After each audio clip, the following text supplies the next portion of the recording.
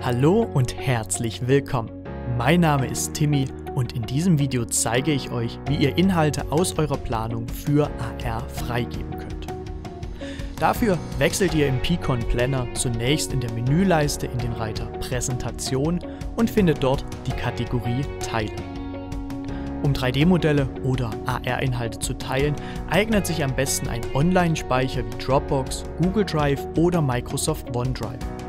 Wählt euren bevorzugten Dienst mit einem Klick auf das kleine Symbol am rechten Rand der Kategorie. Jetzt könnt ihr die gewünschten Modelle selektieren. Mit einem Klick auf AR teilen gelangt ihr zur Anmeldung bei eurem gewählten Cloud-Dienst. Nach der erstmaligen Anmeldung wird das Modell hochgeladen und ihr erhaltet einen QR-Code sowie einen Freigabelink. Den Code könnt ihr einfach mit eurer Kamera scannen oder den Link per E-Mail oder Messaging-Dienst versenden. Mit nur einem Klick auf den Link öffnet sich das Modell und ihr könnt die gewählte Selektion im Raum platzieren. Mit interaktiven Mitteln dreht ihr das Produkt und zoomt auf Details. Erzeugt Wow-Effekte bei euren Kunden, indem ihr Produkte aus eurer Planung teilt und in Lebensgröße auf dem Smartphone sichtbar macht.